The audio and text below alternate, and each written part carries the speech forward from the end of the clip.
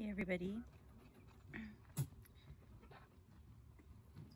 So I'm hoping I can get a video of this for you. It's kind of dark in there, but this is our broody quail. When I came out earlier to feed her, I noticed she did not come out of her little house to eat. So I knew something was up. And as you can hopefully see in there, when I came to look, she had a little chickie that is hatched in there with her.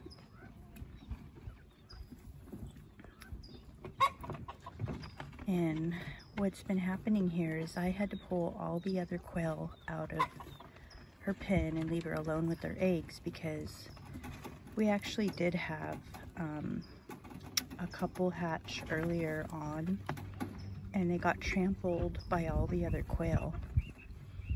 And as I've discussed before, this is not um, normal for Coturnix quail to go broody, so it's kind of all experimental. I didn't really know how to go about this, so it looks like the best way to go about it is definitely to separate them and have them by themselves. At least in this case, where mine's just in a regular, um, this isn't a very large pen at all, just a regular quail pen in what was their nesting box. So we have, from what I can see so far, one successful little chick, and she's being very protective right now while I'm talking and scooted it underneath her. We'll see if, if I get quiet here in a second, we'll see if we get another peek at it, but this is just adorable. Just like a chicken with her chicks. I'll be quiet and see if we get to see this little chickie again. It is so cute.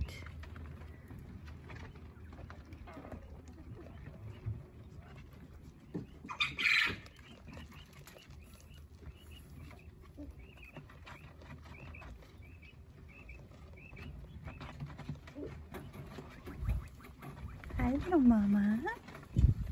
You got your little baby in there, huh?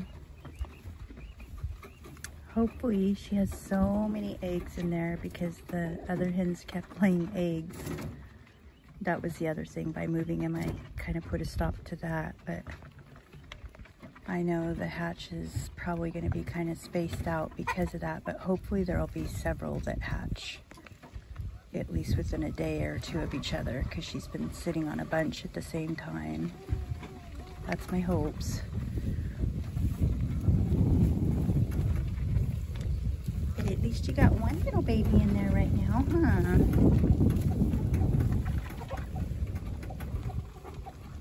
It's really hard to keep this camera focused on her because I'm like right in one little quarter inch square of this hardware wire trying to get this video for you guys.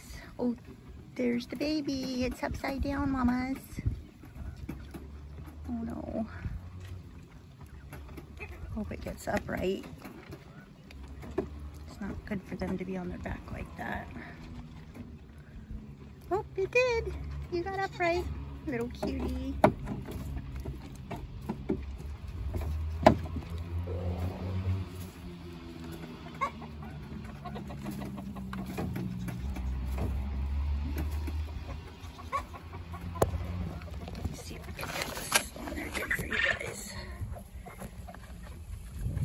Will be putting marbles in their water just like I would do in the brooder. She's trying to get that chickie away from me is what she's doing.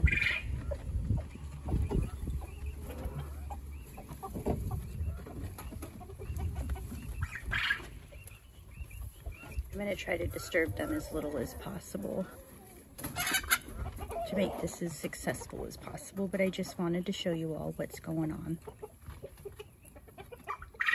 and we will leave them alone.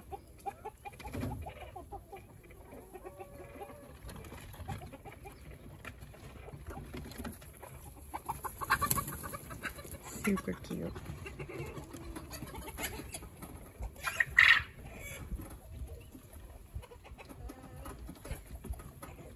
Okay, mamas, I'm going to leave you alone so you can take care of your babies. We'll get more video later, okay guys? Hopefully there will be more chickies.